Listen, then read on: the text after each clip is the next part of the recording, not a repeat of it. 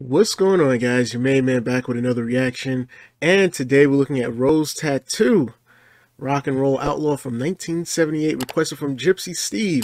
Special shout out to you Steve, I appreciate the suggestion my man. Uh, new artist on the channel, I can't wait to see this, so without further ado, let's check it out man. It's been a minute.